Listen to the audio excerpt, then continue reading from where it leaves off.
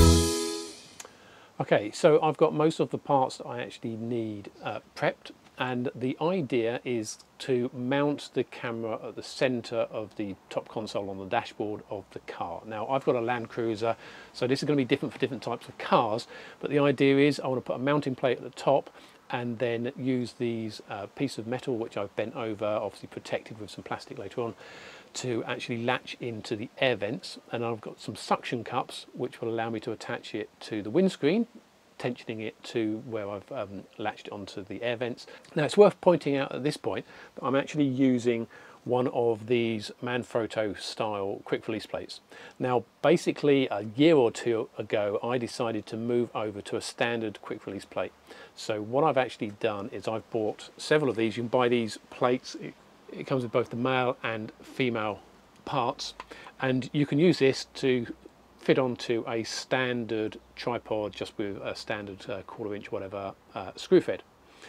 Now the advantage of these are twofold. One is it means that by putting these on each of your kind of tripods, sliders and so on, then it standardizes.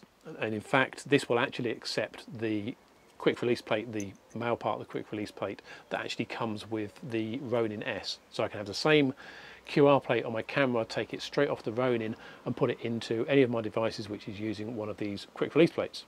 Now the other advantage of these quick release plates are because it's quite long, there are shorter versions, but I recommend getting the longer ones or using the Ronin one which is actually long anyway.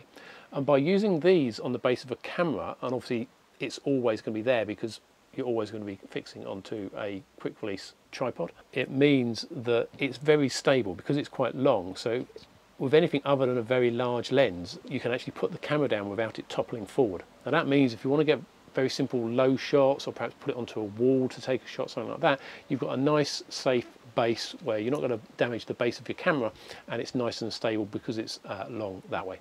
Okay, so great investment. I've probably, I think they're about 20 quid each, which isn't cheap. I've probably got half a dozen or more of these I've bought over the past year or two. And it just makes the whole workflow process much quicker when you're changing your camera from uh, uh, one particular tripod to another tripod to a slider or anything else. So if you do a lot of chop and changing with your shots and your stabilization, then I highly recommend grabbing hold of some of these. So that said, the next thing is going to be a whole lot of faffing around trying to actually mount this onto the dash of the car. So good luck to me on that.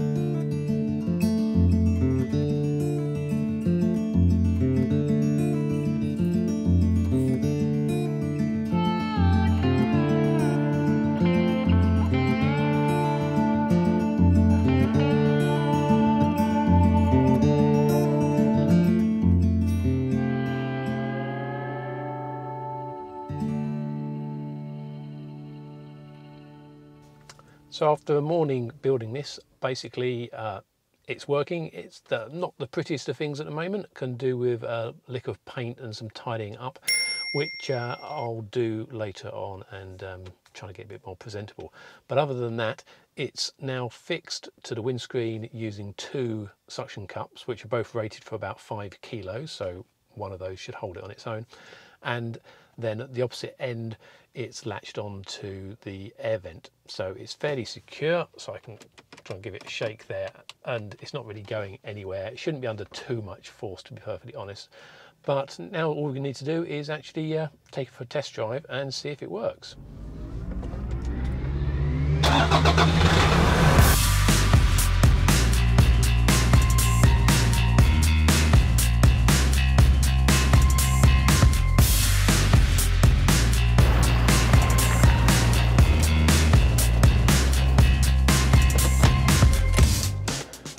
So, so far on minor country roads, no problem at all, seems very stable.